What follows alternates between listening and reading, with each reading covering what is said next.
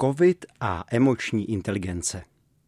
Dokud nám COVID neusmrtí někoho blízkého, nebudeme nic moc cítit ani chápat. Dalibor Špok čte Petr Bouška. Epidemie covidu se nám vymyká z rukou. Sledujeme však nejen ji, ale i epidemii názorů na epidemii. A ty mohou mít na počet obětí nakonec stejný, ne větší vliv, než virus samotný. Protože se ukazuje, že hlasujeme v tradici starého dobrého not in my backyard. Hlavně ne na mém dvorku. Jinak si to řešte kdekoliv. Na bezprostředním dvorku našich životů je zatím víceméně bezpečno. Mnoho z těch, kdo covid chytili, ho prodělali smírným průběhem.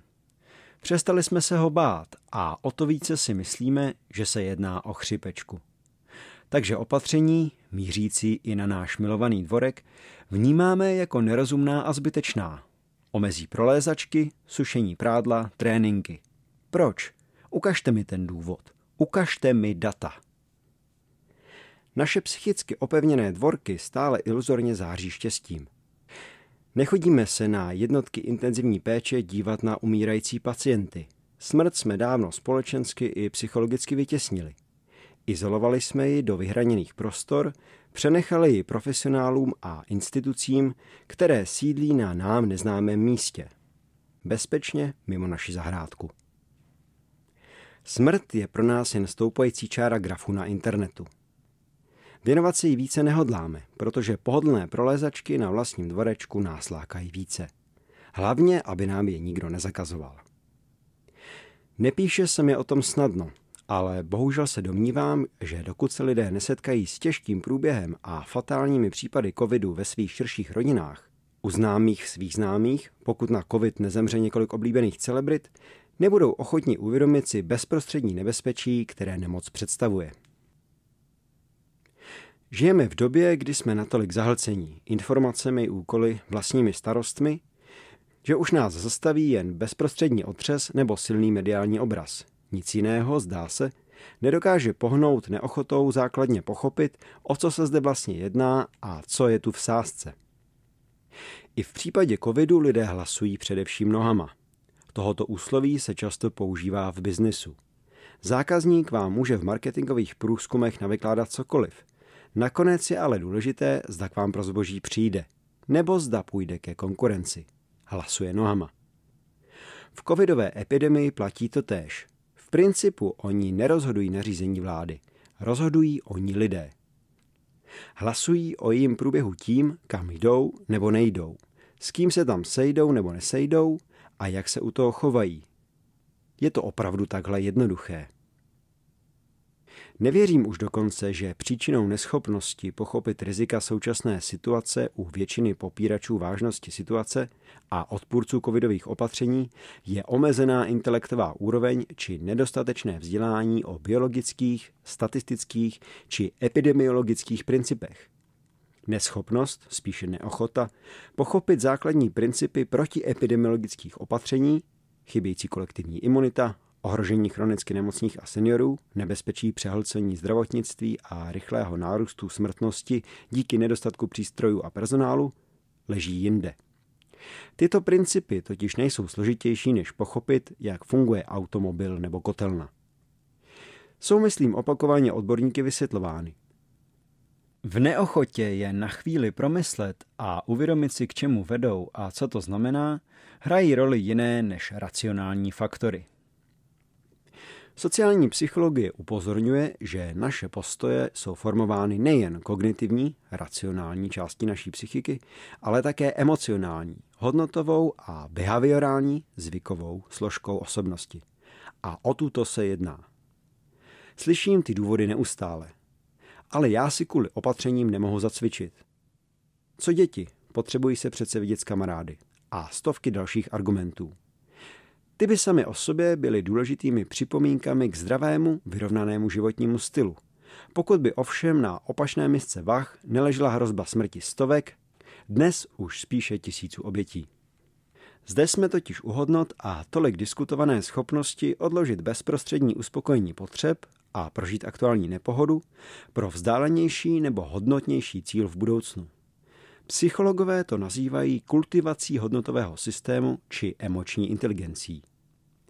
Jejich nedostatečná úroveň je důvodem, proč se cpeme dalším zákuskem, i když vážíme 100 kilo. Proč se znovu pohádáme se sousedem, i když víme, že to náš vztah jen zhorší. Ale také proč nejsme ochotni uskromnit se, omezit se, neuspokojovat všechny nabízející se potřeby svého já. Abychom neškodili přírodě. Abychom zbytečně nespotřebovali nenahraditelné zdroje. Abychom se nezodpovědně nezadlužovali spotřebitelskými úvěry. Abychom neprodukovali mnoho odpadu, ať už fyzického, nebo třeba toho na sociálních sítích. Abychom nepodporovali chudobu v zemích třetího světa, třeba svým lačněním po tunách značkové módy produkované dětmi v bangladešských manufakturách nebo v koncentrácích v Severní Koreji.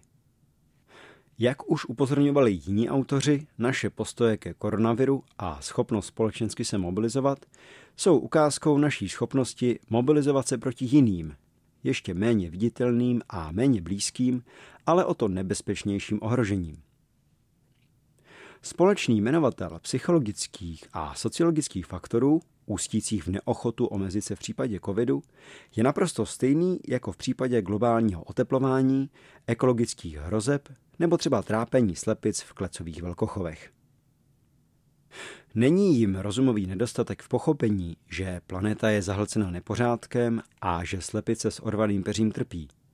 To pochopí pětileté dítě – Principem je, že jiné emoce, potřeby a obsahy jsou pohodlnější, rychlejší a příjemnější. A proto jim dáváme ve svých duševních volbách přednost. Nechceme myslet na to, co je nepříjemné. Raději ukonejšíme chuť a žaludek dobrými a hlavně lacinými míchanými vejci. Nemyslíme na to, odkud jsou. Pokud nás někdo upozorní na důsledky našich rozhodnutí, máme připravený nevývratný argument. Ale prosím tě, jak dvě vejce, která tady s ním, mohou ovlivnit to, že vláda nezakáže ty škodlivé klecové chovy. Jak jedna petláhev, kterou jsem právě koupil, může ovlivnit ta strašná plavoucí smetiště v oceánech. Vysvětli mi, když jsi tak chytrej, jakým způsobem fakt, že Primula zakázal Honzíkovi zájmový kroužek, omezí covid ve světě. Ukaž mi ta data. Už rozumíte? Argumentujeme tvrzením, jedna vlaštovka jaro nedělá. A zapomínáme na fakt, že v každé totožné kopii našeho vlastního dvorečku v miliardách privátních hnízd světa schováváme po jedné rodině vlaštovek. Vždy jedna rodina ptáků, která je tak nepatrná, že na počítadlech globálních statistik neznamená vůbec nic. A přesto znamená všechno. Pak už se jen konkrétní kulisy naší argumentace mění. Principy alibismu vlastní zahrádky, jen dvou vajíček z klecového chovu, jen jedné petlahve, jen jednoho zájmového kroužku, jednoho honzíka, jsou stejné. Dovolím si spekulovat. Nečtěte proto prosím tyto další řádky jako expertní názory, ale jako mou osobní hypotézu. Za prvé, v tuto chvíli se musíme smířit s tím, že cesta s nejmenším možným počtem obětí je nereálná. Nezvolili jsme ji. Nikoli vláda. Každý z nás, který šířil frustraci, nespokojenost s opatřeními a příliš snadné názory narcistických celebrit, které rozumí všemu, jen ne epidemiologii. Každý z nás, který má příliš mnoho emocí, příliš málo zodpovědnosti a nad starostmi příliš mává rukou. Za druhé, Ekonomicky dlouhodobě nejlevnější a teoreticky nejlepší by v tuto chvíli bylo na několik týdnů zmrazit většinu hospodářských aktivit, radikálně omezit pohyb osob, omezit hraniční styk, jako jsme to udělali na jaře. Ale to je společensky nerealizovatelné. Většina lidí by taková opatření pravděpodobně obtížně respektovala nebo odmítla. Jedině tak by současný růst klesl zpět na udržitelná čísla. Za třetí, Nevěřím tomu, že současná opatření, která mají začít platit v pondělí 12. října 2020, jsou schopná tento růst radikálně zpomalit, protože stále ještě nejsou dost radikální. Vedou k mírnému omezení sociálního styku a to je málo. Za čtvrté. Nejsme ochotní k opatření tam, kde mohou mít skutečně vliv. Například Srovnejme si léto, dobu s malým šířením viru, a rychlý epidemiologický nárůst od 1. září. Tento přelom je vysvětlitelný pouze začátkem školního roku, tedy setkáváním školáků a studentů. Protože i v létě, a v létě často více, lidé pořádají párty, stýkají se, chodí do hospody. Není to tak, že by se úderem 1. září hromadně přesunuli z Chorvatska do Prahy a z venkovních zahrádek do vnitřních prostor restaurací. I během léta většina lidí chodí do práce. Navíc jsme nenosili roušky ve vnitřních prostorách a přesto docházelo k šíření viru méně. To, co se změnilo, je začátek školního roku. Zásadní a přehlížený faktor zářijového šíření nemoci tedy vidím v provozu školní docházky. Byť šíření může jít v této souvislosti cestou mnoha nepřímých a napojených hygienicko-sociálních faktorů, nejen přímo infekcí dětí. Ochota zcela omezit školy i u mladších dětí však není. Proto bude jejich vliv na epidemii pokračovat. To je jen jeden z příkladů naší neochoty omezit oblast, asi podstatnou pro šíření viru, ale také významnou pro nespokojenost voličů. Jakkoliv bych si přál opak a chci se mílit, domnívám se, že současná nová opatření růst zásadně neomezí a bude potřeba přijímat postupně další omezení a přitahovat šrouby. Je možné, že se tak bude dít až do doby, než bude k dispozici očkování, nebo než dojde k dostatečnému promoření společnosti a nárůstu kolektivní imunity. Což si ovšem vyžádá velké množství obětí, ať už se zahlcením zdravotního systému nebo bez něj. Je také možné, že vláda čeká s radikálnějším omezením ekonomiky a pohybu osob na pozdější dobu, kdy se ochladí a zhorší počasí, ve kterém jsou lidé méně motivovaní chodit ven a tím snadněji poslechnout nařízení.